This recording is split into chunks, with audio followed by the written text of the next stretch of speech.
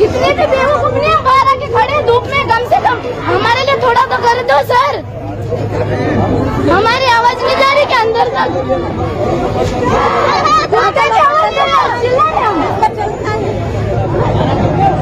कम से कम आपको दो चार कदम आने की शर्म आ रही क्या? हम इतनी दूर से आए दो तीन किलोमीटर दूर से। वो किस काम के लिए हमारा काम तो पूरा करो। इतना भी नहीं कर सकते तो किस काम के लिए बने हो, सर? नहीं तो सर, हमको कलेक्टर बना दो। हम बनने के लिए तैयार है। सबकी मांगे पूरी कर देंगे, सर। आपको नहीं, आप कर नहीं पाते तो। किसके लिए बनी है सरकार?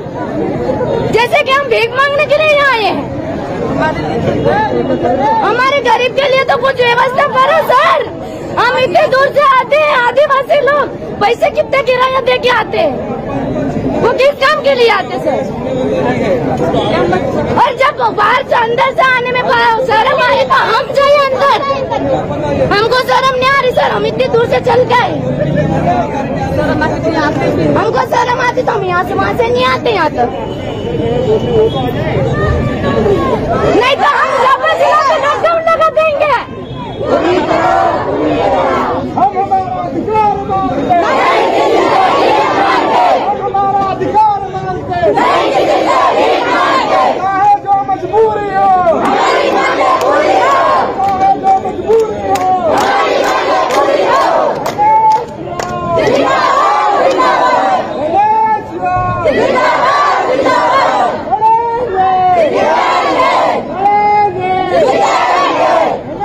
राम! गणेश राम! गणेश राम! सर हमारा चिल्ला चिल्ला के गला बैठ गया आना तो आइए नहीं तो हम जा रहे हैं सर अंदर। क्या पुतला बना के लाओ? सीएम का पुतला जलाते सर किस काम के लिए बने हो आप?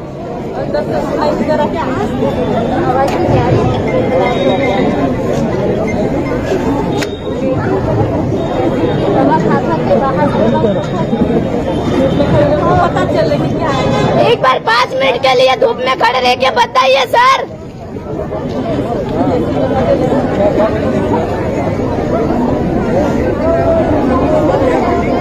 यहाँ सुबह से हम खाना खा के आए ले आप दो तीन बार खा चुके होंगे सर। सुबह भी कोई कोई लड़कियाँ तो खा के नहीं आई सर। और इतनी आवाज़ कर रहे कुत्ते अवल चिल्ला रहे हम। क्या पागल है हम? कुत्ते भी टाइम टाइम पे भोगते हैं चलो सर अंदर चलिए नहीं आ रहे तो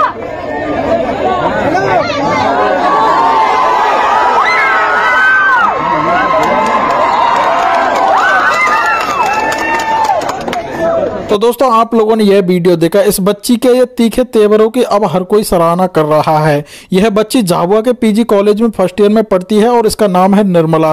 बुधवार को कलेक्टर कार्यालय में पीजी कॉलेज के छात्र छात्राएँ एन की अगुवाई में अपनी अलग अलग समस्याएँ लेकर आए थे। वे यहाँ कलेक्टर सोमेश मिश्रा को ज्ञापन देने चाहते थे। मगर कलेक्टर वहाँ ज्ञापन लेने नहीं पहुँचे। स्टूडेंट्स को बैरिकेडिंग लगाकर रोक दिया गया। इस पर स्टूडेंटों का सब्र का बाँध टूट गया और ज़ोर ज़ोर से चिल्लाने लगे। छात्राओं ने भी नारेबाजी की। धूप में कड़ी निर्मला ने कहा कि छात्र अपनी समस्या लेकर दूर दूर से आए हैं। कलेक्टर सर के पास उनसे मिलने का समय नहीं है। आप धूप में खड़ा रहकर देखो, तब पता चलेगी हमारी परेशानी क्या है। निर्मला आदिवासी किसान परिवार से ताल्लुक रखती है। सात भाई बहन हैं। इनका सपना आर्मी में जाने का है। दोस्तों, बच्चों की मांगे हैं कि मेडिकल कॉलेज की सुविधा होनी चाहिए। ना यहाँ पर बैठने की व्यवस्था है इस कॉलेज में, ना कोई भूगोल की लैब है। पानी पीने की भी सुविधा नहीं है। बहुत सारी ऐसी परेशानी है जिनको लेकर बच्चे मांग कर रहे हैं लेकिन